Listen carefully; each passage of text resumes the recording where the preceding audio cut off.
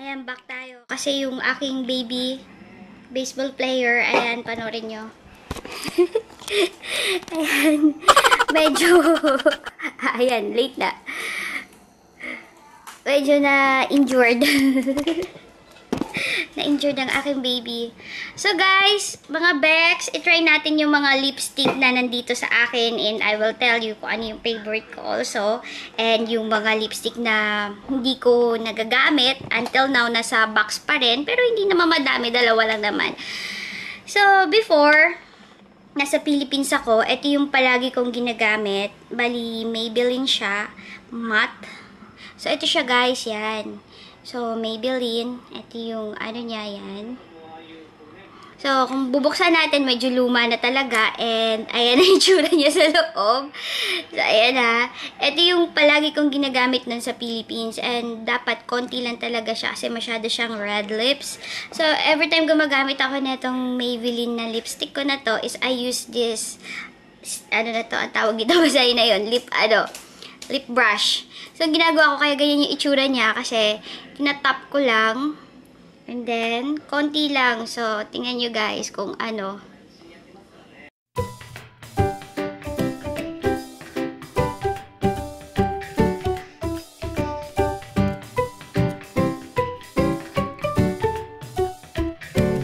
Dark and ito yung ano niya, color niya. Pag nagustuhan nyo, hanapin nyo na lang sa store ng Maybelline. So, ayan na siya. Mm, ayan, ba? Ganda. so, erase na natin siya. I-try na natin ulit yung another lipstick ko. So, I use this again. Okay, mga bags. Next lipstick is this one. Ito yung favorite na favorite ko. Actually, it's matcha matte. And, of course, dito ko na siya binili sa Japan. Kaya yung nakasulat is Japanese. Ayan siya. And yung color niya is like that. So, another one is also Maybelline again. So, ayan guys, Maybelline. Did you see? Maybelline. Ito siya, ayan, matte. So, ito yung ginagamit ko na to kapag pumupunta ako ng mall or namamalengke. Kasi parang hindi lang siya masyadong halata. Parang kasing color lang siya ng skin mo. So, i-try natin.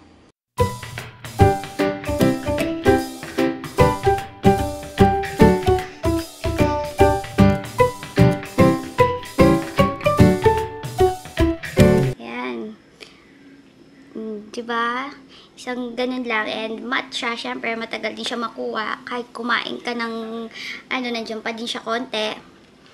Ayan siya, guys. Mm. Diba?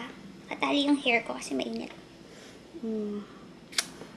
Make my face small. Medyo lagpas. so, ito siya, guys. Mga Maybelline, mga Maybelline talaga.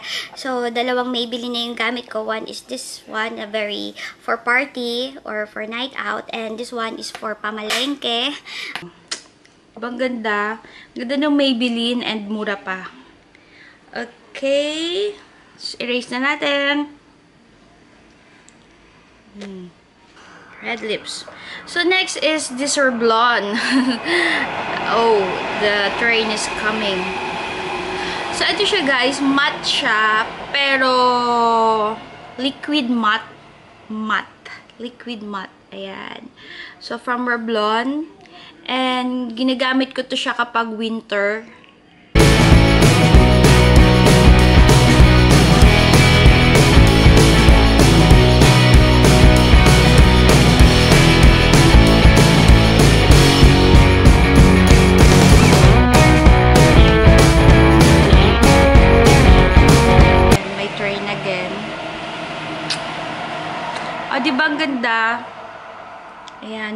Din siya, pero parang liquid type. So, from Revlon. Ito, yung, ito din yung one of my favorite, and I use this every winter.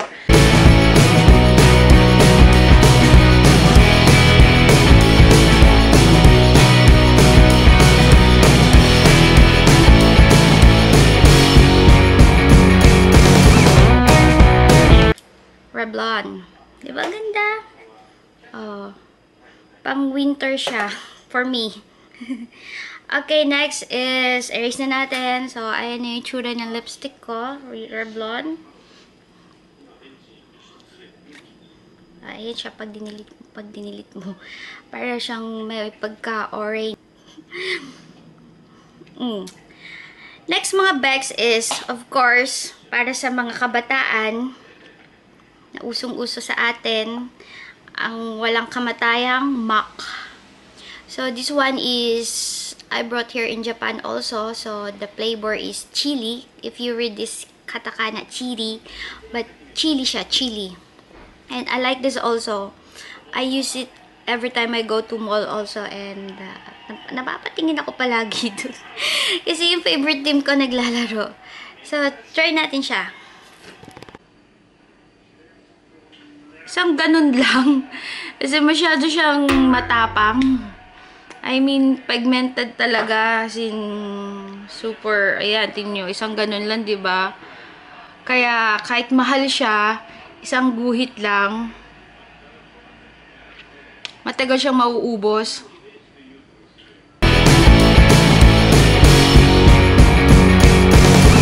Ayan. Ayan, guys. Diba ang ganda? Ganda ng chili flavor ng matte. Ayan. O, kahit malayuan. Outstanding. Ganda. Medyo mainit. My favorite also from MAC. And the flavor is chili. So, ayan na siya guys. Kapag nilagay sa lips, pag malayuan, ayan. But, matagal siyang nawawala. Okay? So, of course, this one is expensive. and this is the brand. Ayan. YS. Of course, I brought here in Japan, kaya medyo Japanese. Pero may English version siya, ayan.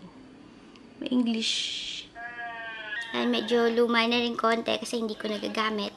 Pero inside, medyo okay-okay pa siya, ayan. Ganda niya, ba?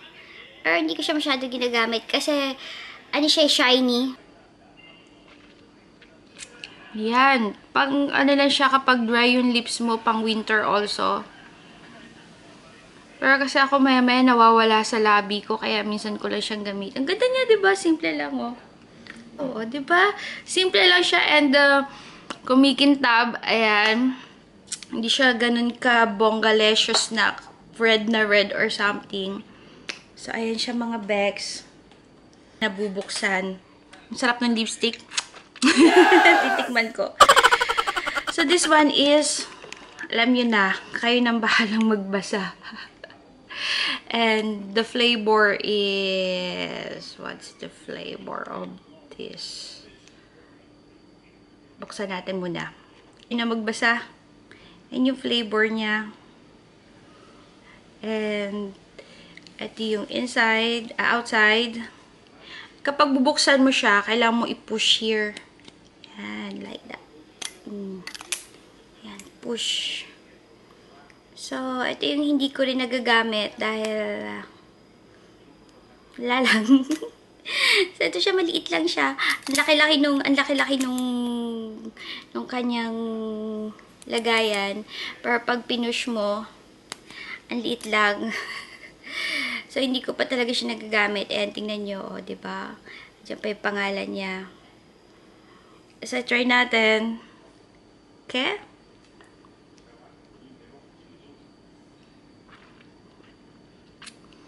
Ayan, maganda din siya. Ching, how's my Chanel lipstick? lipstick. um, si Chanel. Kumusta naman ang review ko? Ganda niya. So, parang gusto ko siyang gamitin mamaya bago kami umalis.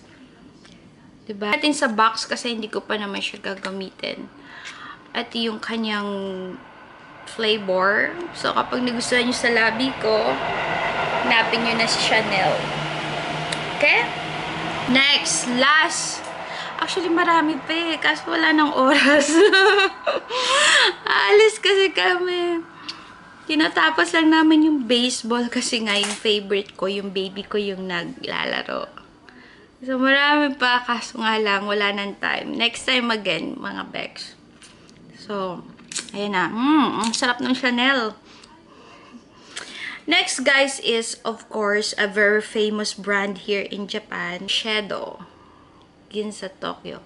So, ito siya, something like lip balm. Hindi ko rin siya nagagamit. Tingnan nyo. Hindi pa nabubuksan. Yung redwood, yung kanyang flavor or color. So, try natin tong lip balm from Shiseido. Yan na siya guys. In, outside. Yan. I guess yan yung color, of course. Open na natin. Mm. Yan siya. Pagganda niya. Yan. O, tingnan nyo. Hindi man lang nagamit. Ang haba niya. Baka hindi na bumalik. Ayan. So, gamitin natin for the first time. Okay? Look.